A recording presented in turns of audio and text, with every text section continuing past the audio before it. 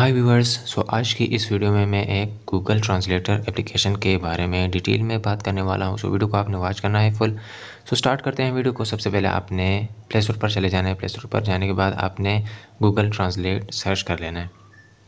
Search करते ही जो second वाली एप्लीकेशन है गूगल ट्रांसलेट जो है ये आपने इंस्टॉल कर देना है और ओपन कर देना है।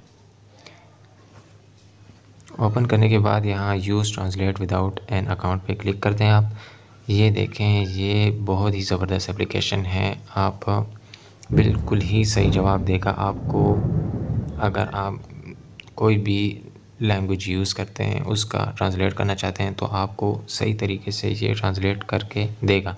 इस एप्लीकेशन में आपको बहुत सारी लैंग्वेजेस जो हैं मिलती हैं। आप उसी टाइम चेंज कर सकते हैं डाउनलोड करके। और इसके अलावा ये जो है, इसमें कॉपी का भी ऑप्शन दिया है। और इसमें वॉइस का भी ऑप्शन है।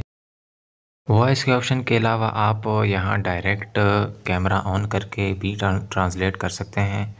और अगर आप चाहते हैं कि आपने जो ट्रांसलेट किया है वो आपका सेव रहे तो आप इसमें अपना जीमेल अकाउंट अटैच कर सकते हैं।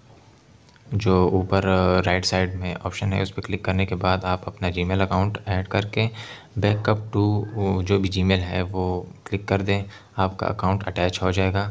अकाउंट को अटैच करने के बाद आप यहाँ जो आपने जो स्क्रिप्ट सेव किए थे, वो भी आप यहाँ पर हासिल कर सकते हैं। हिस्ट्री भी आप देख सकते हैं, जो आपने ट्रांसलेट किया है और जो लैंग्वेज आपने डाउनलोड किया वो भी यहाँ पर आ जाएँगे।